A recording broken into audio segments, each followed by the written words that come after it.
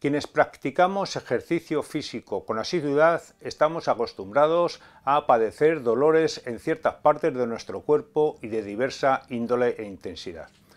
De una manera intuitiva aprendemos a diferenciar aquellos dolores que son limitantes de los que no lo son en cierta medida por su agudeza. Hace una semana, participando en una prueba deportiva de ultrafondo, volví a experimentar un tipo de dolor muy concreto eh, que me dio la idea de tratar este tema que me parece interesante, tanto para quienes realizamos ejercicio con asiduidad como para quienes llevan una vida más sedentaria. Al final del vídeo te hablaré de este tipo de dolores fantasma.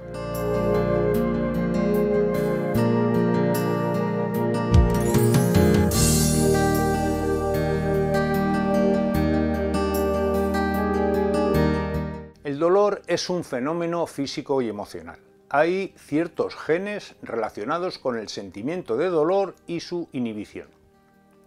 De alguna manera, el dolor es un aviso de alguna parte de nuestro cuerpo que envía una señal de alerta al cerebro para informarle de alguna anomalía e inducirle a que tome una decisión. La Asociación Internacional para el Estudio del Dolor lo define como una experiencia sensorial y emocional desagradable asociada con un daño tisular, real o potencial, o eh, descrita en términos de dicho daño.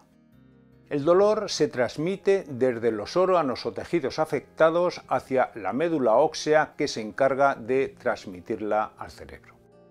El dolor en sí es un mecanismo evolutivo diseñado para proteger nuestra vida, alertándonos de situaciones que pudieran poner en peligro la misma. Así, el dolor agudo actúa como factor de protección ya que ayuda a evitar lesiones corporales o situaciones de riesgo potencial y protege la zona afectada mientras ésta se recupera.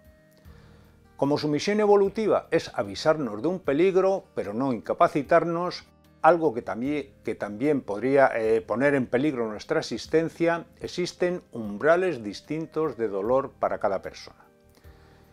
Cada persona, como hemos dicho, tiene su umbral de dolor y suele venir influido por una serie de químicos que se encargan de reducir esas señales de alarma o, sirenas que eh, una vez que nuestro cerebro se ha enterado del peligro o los daños que hemos sufrido, eh, digamos que dejan de sonar para que ese eh, dolor disminuya.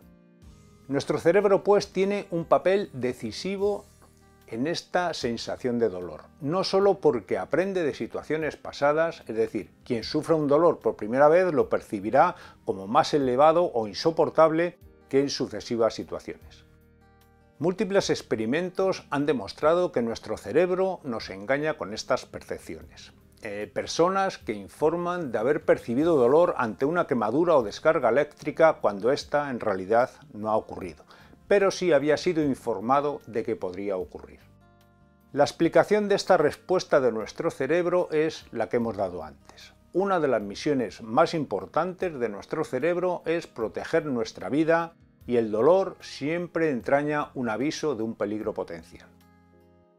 El dolor está controlado por el sistema nervioso y es un proceso complejo. Se produce cuando un estímulo externo, como eh, tocar una sartén ardiendo, activa las células nerviosas receptoras para que envíen un mensaje desde la médula espinal al cerebro.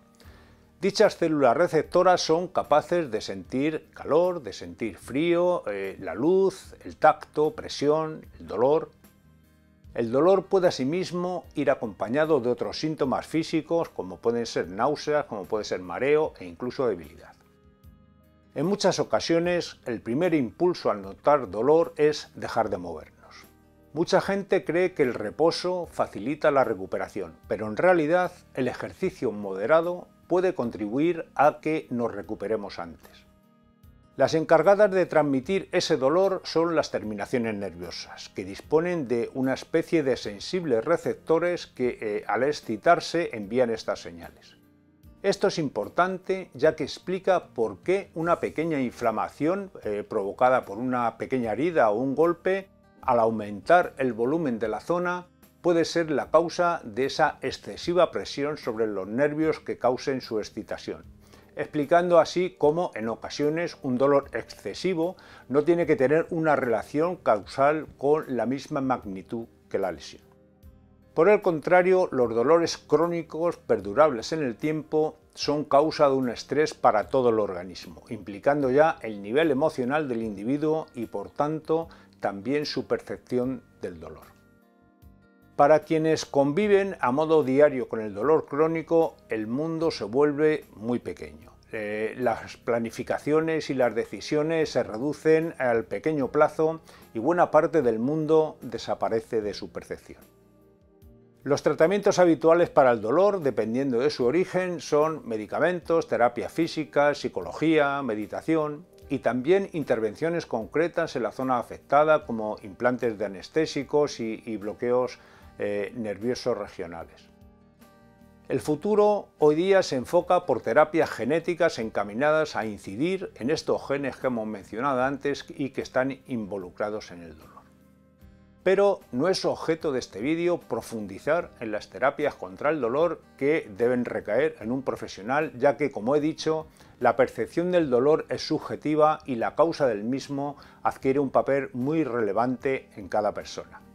Es decir, ante una misma herida o trauma en distintas personas, la cura será idéntica para todos. Sin embargo, el tratamiento del dolor asociado será muy individualizado.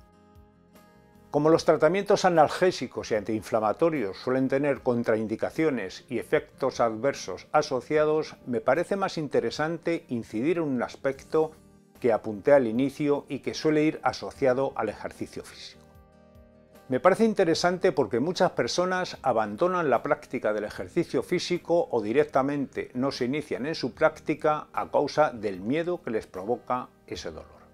Miedo tanto a padecer el dolor como a las consecuencias que puede tener para eh, su salud futura y aquí es donde el cerebro les engaña y les juega una mala pasada. Hemos comentado que la misión más importante de nuestro cerebro primitivo es proteger nuestra vida. Y el miedo y el dolor son dos mecanismos que tiene a su disposición para garantizar eso. Nuestro cerebro además es cortoplacista, eh, no toma decisiones pensando en un futuro. Pensar que la realización de ejercicio físico nos aporta salud y garantías de supervivencia para un futuro es una función de nuestro cerebro más superior, más desarrollado. El que decide cuándo te cansas es el cerebro más primitivo. Eh, si una situación te saca de tu zona de confort y el cerebro percibe que se acerca el agotamiento, comienza a enviar señales para que reduzcas la marcha. Eh, el cuerpo aumenta la sensación de cansancio y desactiva fibras musculares para restarte fuerza. No es que esté conspirando contra ti, simplemente intenta asegurarse de evitar un daño. Si nuestra voluntad nos hace continuar, recurrirá incluso al dolor y al miedo que lleva consigo para intentar detenernos. ¿Y cuál es el papel de la motivación en estas situaciones? Tiene la habilidad de convertir el dolor en combustible para llevar a cabo nuestro ejercicio. Eh, al adquirir conciencia de la importancia que es para nosotros, de la importancia que tiene para nosotros lo que estamos haciendo, bien sea un entrenamiento o una carrera, el cerebro eh, afloja, digamos, las riendas y permite la acumulación de más fatiga antes de empezar a protegernos.